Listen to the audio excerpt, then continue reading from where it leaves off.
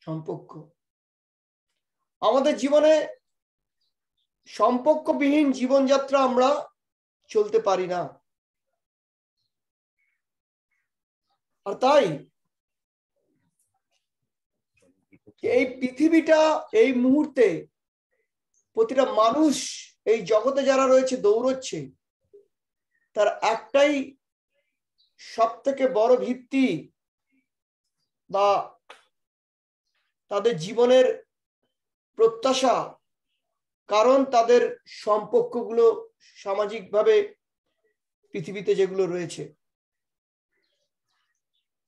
এই পৃথিবীতে যখন কোনো আমরা কেউ এসছি সেই মুহূর্তে নিশ্চিত করেছি যে কি না আমাদের এক সম্পর্ক রয়েছে যে পিতা এবং মাতা আমাদের জন্মগ্রহণ করেছেন। জন্ম দিয়েছেন। যতটা আমরা বড় হই এবং আমাদের নানান ধরনের ভালো সম্পর্ক কারোর সাথে তৈরি হয়, আবার অনেকটা দুর্বল সম্পর্ক হয় আমাদের পরিবার অথবা মাতা পিতার সাথে। তো আমরা ছোটবেলা থেকে যখন বড় হতে থাকি, তখন আমরা কি করি? প্রতিটা সম্পর্ককে কি করি? উন্নত করার চেষ্টা করি। কখনো সেটা সম্পর্ক ভেঙে যায়, কখনো নতুন সম্পর্ক তৈরি করি, অথবা কোনো সম্পর্ক শেষ করে ফেলি। প্রতিটা মানুষ বা মানুষ জাতি, মানব জাতি হচ্ছে তার জীবনের ধারাটা সম্পর্কের জন্য। আর তাই খ্রিস্ট বিশ্বাসী হিসেবে যখন আমরা দাঁড়াই, সেটা কোনো অবাকের কারণ নেই যে আমরা যে সত্য জানি, পিতা, পুত্র এবং পবিত্র আত্মা, এই একই ঈশ্বর তার ত্রিভূমিকায় তিনি প্রতিটি খ্রিস্ট ভাই বোনদেরকে সেই সম্পর্কের সূচনা কথা উনি আমাদের জানান দেন। আর তাই আজকে আমরা যারা রয়েছি সম্পূর্ণভাবে আমরা তাদেরকে সেই প্রত্যাশা দিয়েই, যে প্রত্যাশার মধ্য দিয়ে আজকে আমরা এখানে দাঁড়িয়েছি। সম্পর্ক আমরা জানি যে বাইবেলে বলে আদি পুস্তকে এক অধ্যায় ছাব্বিশ সাতাশ পদে, যেখানে ঈশ্বর তাদের প্রতিমূর্তিতে পিতা, পুত্র এবং পবিত্র আত্মা যে সম্পর্কের সহ অবস্থানের মধ্য দিয়ে আমরা দেখি পৃথিবীর সূচনা লগ্ন থেকে, তাই ঈশ্বর যখন মানুষকে তার প্রতিমূর্তিতে করেন, তাই আমাদের জীবনে এই তিন শক্তি, পবিত্র পিতা, পুত্র এবং আত্মার পূর্ণতা, তাদের সম্পর্কের সক্ষতা আমাদের জীবনকে এক নতুন এবং এক পৃথকীকরণ মাত্রা দেয়। আর তাই আমরা প্রতিটা মানুষ সৃষ্টি হয়েছি। সম্পর্ক ঈশ্বরের সাথে করার জন্য এবং অন্যদের সাথে সামাজিকভাবে সম্পর্ক সুন্দর নিয়ে বাঁচার জন্য। ঈশ্বরের বাক্য, বাইবেল কথাই আমাদের জানান দেন যে মানুষের সাথে মানুষের ভালোবাসার সম্পর্ক কখনো তাদের মধ্যে যুদ্ধ, কখনো তারা একে পরিকল্পনা, কখনো একসাথে প্রার্থনা করছে, কখনো তারা ঈশ্বরের স্তুতি একসাথে করছে, কখনো তারা অভিযোগ করছে, কখনো তারা ক্রোধ হচ্ছে তো মানুষ এই পৃথিবীতে যখন থাকে, ভালো এবং মন্দ সব নিয়েই থাকে। আমরা জানি ইহুদি জাতিকে ঈশ্বর দিয়েছিলেন সেই পূর্ণ নিয়ম কানুন যার মধ্য দিয়ে তারা ঈশ্বরের সাথে সম্পর্ক রাখত। কিন্তু যিশু আসার পর আমাদের জীবনে কি করেছে? সমস্ত ধর্মীয় নিয়ম কানুনকে একটাতে বদলেছে দুটোতে মতিলিখিত বাইশ অধ্যায় সাঁত্রিশ এবং উনচল্লিশ পদ পড়লে জানি, যিশু বলছেন, তুমি তোমার ঈশ্বরকে তোমার সকল হৃদয় দিয়ে, মন দিয়ে এবং তোমার চিন্তা দিয়ে ভালোবাসো, তেমনি ভালোবাসো তোমার প্রতিবেশীকে যেমন তুমি নিজেকে ভালোবাসো। তাই এই পরম আজ্ঞা, সর্বোচ্চ আজ্ঞা আমাদের জীবনকে গঠন করে, পরিবর্তিত করে কিসের মধ্য দিয়ে?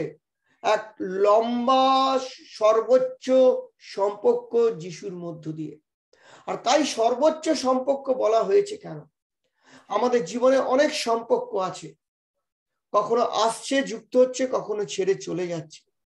কারণ এই সম্পর্কগুলো আসা আর যাওয়ার মাঝে দাঁড়িয়ে থাকে আমাদের দুই পক্ষের ইচ্ছে, অনিচ্ছা, ভালো লাগা, না লাগা।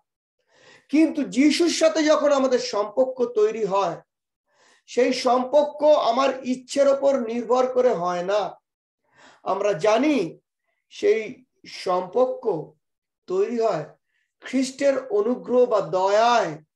তিনি নিজে স্বেচ্ছায় তার জীবন দিয়ে আমাদেরকে ফিরিয়ে আনতে চেয়েছেন। তাই আমরা এক নতুন জীবন লাভ করেছি। সেই জীবন খ্রিস্টের সম্পর্কের জন্য সম্ভব হয়েছে। আর তাই যদি বলছে যে আমাদের যদি এই পৃথিবীতে খ্রিস্টীয় জীবন যখন খ্রিস্টকে নিয়ে চলি, আমাদের হৃদয়ে যে বসতি স্থাপন করেছেন সেই সময় পৃথিবীর জগতের অনেক লোকের সাথে চলতে গিয়ে আমাদের খারাপ সঙ্গ চলে আসে, অথবা ভালো বন্ধুও আমাদের শক্তিশালী করে। তাই খুব ঘনিষ্ঠ সম্পর্ক আমাদের এই মন্ডলিতে ভাই বোনের মধ্যে, যেটা আমাদের মন্ডলীকে দৃঢ় করবে শুধু নয়, সেইটা অন্যান্য অবিশ্বাসী লোকেদের যাদের আমরা ঘনিষ্ঠ, তার থেকে অনেক এক পৃথকীকরণ জীবনযাত্রার সূচনা করবে। আর তাই আমি সেই যেটা আজকে পড়েছি, সেই অংশ থেকে আপনাদের পড়ছি। দুই করন্থীয় ছয় অধ্যায়ের তেরো থেকে আমি পড়ছি। চোদ্দ থেকে আছে, যাই হোক, আমি এগারো থেকে পড়ছি। হে করন্থিয়ারা, তোমাদের প্রতি আমাদের মুখ খোলা রইয়াছে। পৌল বলছেন, করন্থীয় একটা বলতে পারেন স্থান, যে স্থানে সাধু পৌল প্রচার করেছিলেন, ওখানে মন্ডলী বা চার্চ গঠন হয়েছে। কিন্তু তার আনন্দ এটা যে তাদের মধ্যে এত সুন্দর যিশু বিশ্বাসে চলছে। কিন্তু দুটো জিনিস আনন্দ যেমন পেয়েছেন, তেমনি উনি সতর্কতা করেছেন। কারণ তাদের মধ্যে কেউ কেউ কি করেছে? অবিশ্বাসীদের জীবনযাত্রার সাথে মেলামেশা শুরু করেছেন। আর তাই উনি বলছেন, তোমরা আমাদের অন্তরে সংকুচিত নও। তার মানে বলছে, খ্রিস্টের ভালোবাসা একে অপরের ভুল ত্রুটি ক্ষমা করে উদার হৃদয়ে পরস্পরকে আলিঙ্গন করতে পারে। বলছে, আমি তোমাদিগকে বৎসের ন্যায় জানিয়া বলেছি, অনুরূপের প্রতিদানের জন্য তোমরা প্রস্তুত হও।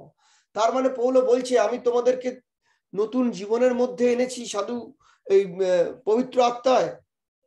আর তাই তোমরা সেই ধরনের কাজ করো যা আমি করছি। খ্রিস্টীয় সত্যের পৃথকীকরণ জীবন যাপন করো। আমাদের এই পৃথিবীতে চলতে গেলে অনেক কিছু আমাদের কষ্ট বইতে হয়। আমরা কি হই? আমরা চলতে চলতে এই করন্থীয়দের বাসেও খ্রিস্ট বিশ্বাসীরা পৃথিবীর অনেক অবিশ্বাসী বন্ধুদের মাঝে নিজেদের সময়টাকে ব্যয় করি। ভাবি, ওখানে গেলে আমার কিছু কাজ হবে, কিছু ভবিষ্যৎ হবে। কিন্তু আজকে যদি আপনাকে একটা প্রশ্ন রাখি, যে আপনার মৃত্যুর পর আপনার কি হবে? আমরা জানি কঠিন প্রশ্নের সহজ উত্তর যিশু দিয়েছেন। যখন আমরা জলে বাপ্তিস্ত নিয়েছি, আমরা জানি যে আমাদের দেহ এই কবরে গেলেও যিশুর মতো ওই পুনর্থিত জীবনে আমরা একদিন তার সময় নিরূপিত উত্থিত হব। এই চরম প্রত্যাশায় খ্রিস্টের সম্পর্কে আমরা যখন চলি, সেইখানে আমাদের পৃথিবীর নানান ধরনের সম্পর্কগুলো আমাদেরকে টানা টানি করতে হয় বা আমাদের বাহ্যিকভাবে অনেক কিছু তার প্রতিকূলতা, অনুকূলতার মধ্যে যেতে চায়। এখানে পৌল সতর্ক করেছেন করন্থীয়দের এবং আজকে আমাদের আমাদের জীবনযাত্রা মধ্যে ঈশ্বর সেই বিশ্বাসের জীবনযাত্রা দেখতে চান, যেখানে যিশু বলেছেন, পিতা জোনের সতেরো শততে আমাদেরকে যাতে সত্য দ্বারা পৃথক করো, তোমার সত্য তোমার সত্য, তোমার পবিত্র আত্মা, তোমার পুত্র যে কাজ করেছে, অনুগ্রহের মধ্য দিয়ে আজকে আমরা যে জায়গায় জীবন পেয়েছি, সেই জীবনটা খ্রিস্টের জীবনে বাঁচার জন্য আগে। আর তাই আমাদের এই মন্ডলীতে যে ভাই বোনগুলো দিনরাত প্রার্থনা করে একে অপরের, তাদের প্রতি সেই দায়িত্ব থাকবে, তেমনি ঈশ্বরের প্রতি, যিশুর প্রতি কৃতজ্ঞতা থাকবে। যখন আমরা রোববারে আসি, তখন আমরা নিশ্চিত করি যে সারাটা সপ্তাহ এই ভাই বোনগুলো আমার জন্য প্রার্থনা করেছে। আমার প্রতিবেশী করেননি, আমার বন্ধু করেননি আজকে এরা করেছেন। তাই প্রতি রোববার এবং এই মন্ডলীর জন্য আমি সর্বদা একে ভাই বোন পরস্পরে কাঁধে কাঁধ মিলিয়ে সম্পর্ক রাখব। এই পরিবারের সম্পর্ক পৃথিবীর অন্যান্য সম্পর্কের আগে অগ্রগতিকার পাবে। কারণ এটা ধর্মীয় সম্পর্ক নয়, এটা সম্পর্ক সর্বোচ্চ সত্য যা যিশুর জীবনের সাথে আমাদের যুক্ত। যা মৃত্যুতেও কোনোদিন এই বন্ধন ভাই বোনের ছিন্ন হবে না। যেসব আমাদের পরিবারে বা বাইরে যারা অবিশ্বাসী রয়েছে যিশুরকে বিশ্বাস করেনি অথবা তাকে জীবনে গ্রহণ করেনি, তাদের জীবন একটা সময় ছেদ পড়বে, আমাদের পড়বে না। কারণ যিশুকে যারা বিশ্বাস করে, বাক্য বলে বাইবেলে, তারা অনন্ত জীবন পেয়েছে। আর তাই আমাদের জীবনে প্রতিটা সম্পর্ক এক মাত্রা রাখে। আর সাধু পৌল এখানে বারবার সেই কথা স্মরণ করিয়ে দিয়ে বলছেন যে, দেখো, তোমরা জানো যে তোমরা প্রভুর রক্ততে নতুন জীবন পেয়েছ। গালাতীয় দুই অধ্যায় পড়লে জানি, বারবার উনি বলছেন, পৌল, যে এখন আমার জীবন যেটা, সেটা খ্রিস্টে ক্রুশাভিক্ত হয়েছে। আমি আর আমিতে আমার আত্মায় চলি না। আমি চলি খ্রিস্টের আত্মা খ্রিস্টের আত্মা আমাদের জীবনকে যদি সত্যই স্বাধীন এবং নিয়ন্ত্রণ করে, তাহলে আমরা এই পৃথিবীর সম্পর্কগুলোর মাঝে সর্বোচ্চ সম্পর্ক রাখবে এই মন্ডলীতে যারা আছে।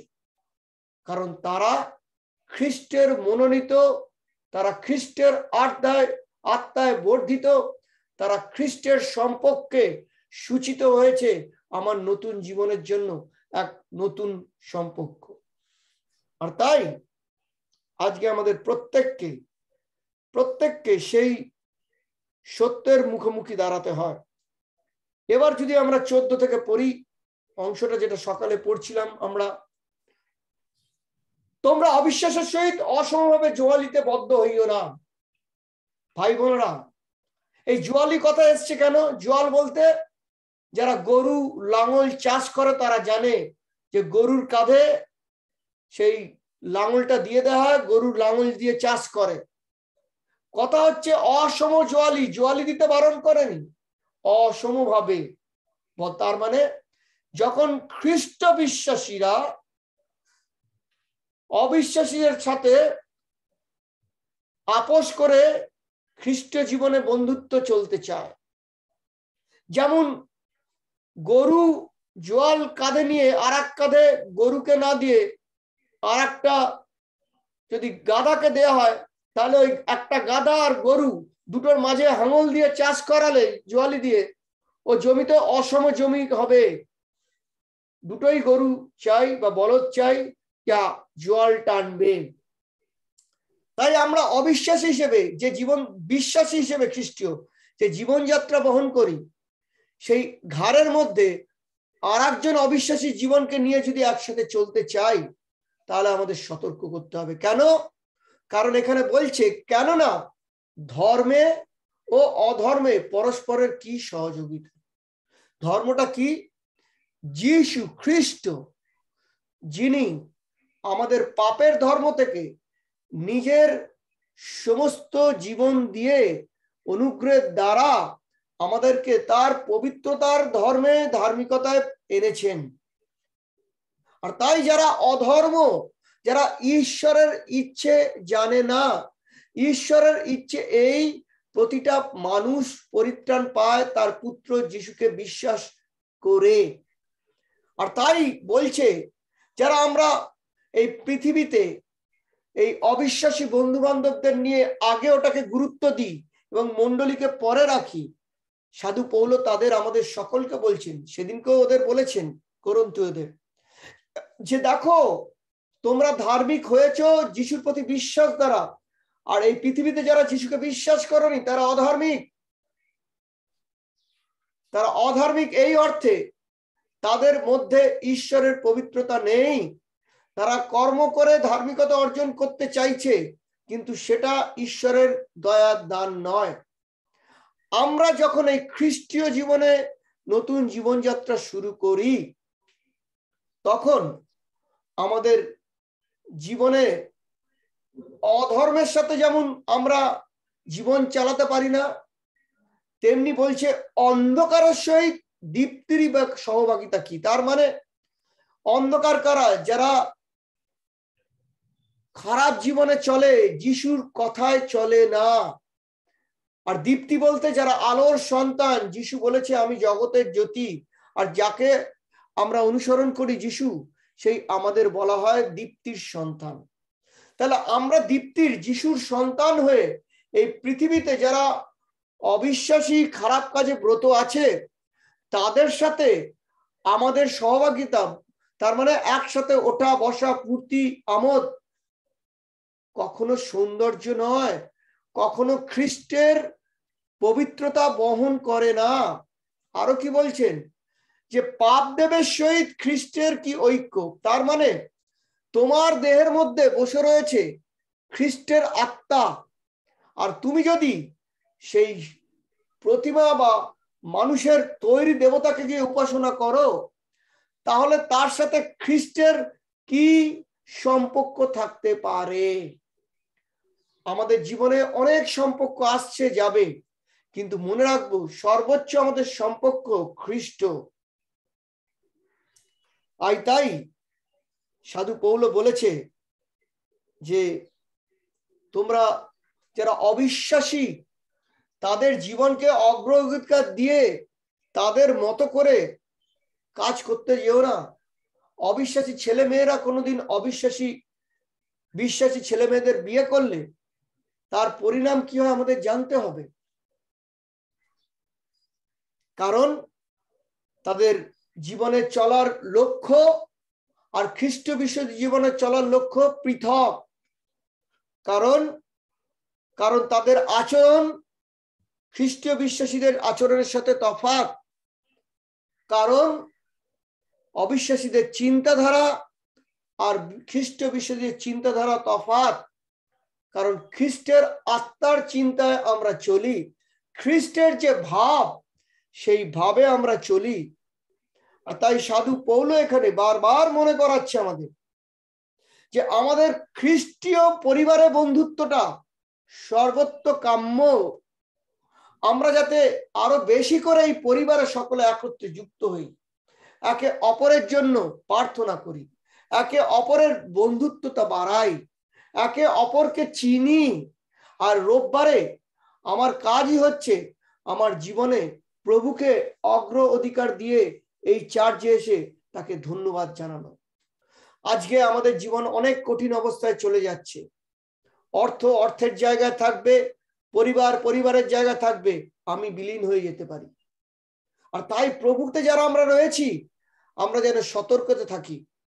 আনন্দিত থাকব যে প্রভু আমাদের বিজয় দিয়েছেন এবং সেই বিজয়ের ধারা অব্যাহত রাখব ওনার পরাক্রমের জীবনে। তেমনি এই সর্বোচ্চ সম্পর্ক আমাদের সতর্ক করে দেয়, যাতে এই সম্পর্ককে আমরা অগ্রগতিতা দিই। তাকে সরিয়ে জীবনে অন্য সম্পর্ককে যদি অগ্র অধিকার দিই, তার ফল আমাদের বইতে হতে পারে। কারণ সাধু পৌল মনে করিয়ে দিয়েছে যে কি ধর্মের সাথে অধর্মের সম্পর্ক নেই। আলোর সাথে অন্ধকার মানে পাপ আর পবিত্রতার কোনো নেই। খ্রিস্টের সাথে মানুষের তৈরি দেবতার সম্পর্ক নেই। বিশ্বাসীদের সাথে, খ্রিস্ট বিশ্বাসীর সাথে অবিশ্বাসীদের সম্পর্ক নেই। আর ঈশ্বরের মন্দিরের সাথে প্রতিমার কোনো সম্পর্ক নেই। কারণ কি বলছে স্ক্রিনে বলছে, আর প্রতিমার সহিত ঈশ্বরের মন্দিরের কি সম্পর্ক? কারণ আমরাই তো জীবন্ত ঈশ্বরের মন্দির। আর তাই আমাদের মনে রাখতে হবে, আমাদের বন্ধুত্ব, সহভাগিতা, ঐক্য, সাধারণ জীবনযাত্রা খ্রিস্টের সাথে সম্পূর্ণ যুক্ত। এই পৃথিবীর জীবনের জন্য নয়। আর তাই আমাদের জীবনে এই ছয় চোদ্দ থেকে যখন বলে এবং ষোলো পদে আমরা জানি যে আমাদের খ্রিস্টীয় জীবনে অনেক ভালো সম্পর্ক থাকতে পারে, কিন্তু তাদের সাথে সম্পর্কটা যখন বাজে ইচ্ছেতে বন্ধুত্ব থাকে বা ইন্টেনশনটা খারাপ উদ্দেশ্যে বন্ধুত্ব চলে যায়, সেই সম্পর্ক কখনো সুফল খ্রিস্ট বিশ্বাসী জীবনে আনতে পারে না। তার ফল ভোগ শুধু খ্রিস্টীয় ওই ভাই বোনটা ভুগবে না পুরো মন্ডলী আমরা ভুগতে পারি। আর তাই ভাই বোনেরা কোন সম্পর্ককে বাঁচানোর উদ্দেশ্যে খ্রিস্টীয় সম্পর্ককে আমরা যেন অবহেলা না করি, কারণ ওটা আমাদের জীবনের সর্বোচ্চ সম্পর্ক, যিনি আমাদের পরিবারের সকল সম্পর্কগুলোকে দিয়েছেন, তাই তার সম্পর্ককে আগে আমরা রাখব, যাকে রেখে আমরা সামনে চলে পৃথিবীর সমস্ত সম্পর্কগুলোকে আমরা ধরে রাখতে পারব। আর তাই বলছে ঈশ্বর, যিশু বলেছেন যে তোমাদের মুখে হ্যাঁ হ্যাঁ না না কথা হবে। কোন রকম প্যাঁচ গোছের কথা হবে না। খ্রিস্টীয় জীবনে সেই স্বচ্ছতা থাকবে, কারণ ঈশ্বর আমাদের হৃদয়ে জীবন্ত মন্দির করতে চান। আর উনি বারবার এই কথা বলছেন যে তোমরা কি জানো না, তোমরা মন্দির আর তাই যদি আমাদের এই হৃদয়ের মন্দির হয়, হৃদয়টাকে এমন এই পৃথিবীর লোকেদের মাঝে ফেলে দিয়ে অন্যদের জীবনযাত্রার মতো চলবো না, যেখানে আমার প্রভু কষ্ট পান, তার সম্পর্ককে আঘাত আনতে পারে। কারণ কারণ ঈশ্বরের আত্মা যা চায়, অবিশ্বাসীর আত্মা তা চায় না। অবিশ্বাসীর মধ্যে যে আত্মা আছে একজন খ্রিস্ট বিশ্বাসী হৃদয়ে সেই আত্মা নেই। পৃথিবীর আত্মা আর পবিত্র আত্মা দুটো সম্পূর্ণ আলাদা। পৃথিবীর আত্মা চায়, খাও, বাঁচো, পয়সা কামাও, বড়লোক হও জীবনকে নির্বাহ করো এবং একদিন রোগে ভোগে শেষ হয়ে যাও। পবিত্র আত্মা চায়, দুঃখ, কষ্ট, আনন্দ সকলের মাঝে খ্রিস্টকে গৌরব দাও। খ্রিস্ট তোমার মধ্যে থাকবে যে একদিন আসবে তোমাকে মৃত্যু উত্তীর্ণ জীবনে পরিবর্তিত করে নিয়ে যাবে। আর তাই সাধু পৌল সেদিনকে এই ঈশ্বরের ভাষায় বলেছে, ঈশ্বর নিজে বলেছে যে তুমি এই পৃথিবীর মধ্যে থেকেও তোমার জীবনকে খ্রিস্টের মধ্যে বিশ্বাসযোগ্যতায় চালাও। প্রতিদিন প্রার্থনা করো, প্রতিদিন বাক্য পড়ো, আর প্রতিদিন তার কথা বলো সকলকে। কারণ আমরা শুনেছি তিনটে মন্ত্র, যে শুনব, চলবো বলব। আর তাই যিশু বলেছে, আজ এবছরের বিষয় আমরা জানি যোহনের দশ অধ্যায় সাতাশ, আঠাশ, যে তোমরা পৃথকীকরণ হও। তোমরা আমার মেষ, আমি তোমাদের চিনি। তোমরা আমাকে অনুসরণ করবে, আর কেউ তোমাদের এই শয়তানের পৃথিবীতে কেড়ে নিতে পারবে না। তাই ভাই বোনেরা, সর্বোচ্চ সম্পর্ক, যা দয়া, ভালোবাসা, পূর্ণতা দিয়ে যিশু এনেছেন আমাদের জীবনে সেই সম্পর্ককে আমাদের জীবনে এক অমূল্য দান হিসেবে গ্রহণ করতে হবে। কিন্তু এই জীবনকে আমরা কীভাবে ব্যবহার করতে পারি? কীভাবে আমরা এই সত্যের রাস্তায় চলতে পারি এই পৃথিবীতে যাতে খ্রিস্টের সম্পর্ক থাকতে পারে? আসলে আমরা দুটো জিনিস এখানে ব্যাখ্যা করি। মানুষের সাথে দুভাবে আমরা মিশতে পারি। এক হয় যে চার্চের মধ্যে যখন বিশ্বাসীরা হই যাদের মধ্যে একে অপরকে সহভাগিতা করে এবং সবাইকে উৎসাহ দেয়। আর দ্বিতীয় কি? যেটা আর একটা অবিশ্বাসীদের জীবনে যখন আমরা মিশতে যাই, তাদের সাথে আমাদের জীবনের মাত্রা মাপ খায় না। আর তাই আমাদের জীবনে হয়তো আবেগ থাকতে পারে। আমাদের জীবনে অনেক বন্ধুত্ব থাকতে পারে, তারা কেউ খারাপ নয়। কিন্তু তাদের সাথে যখন আমরা চলবো, আমরা যেন জানি খ্রিস্টের আত্মা আমাদের জীবনে হৃদয়ে বসতি করে।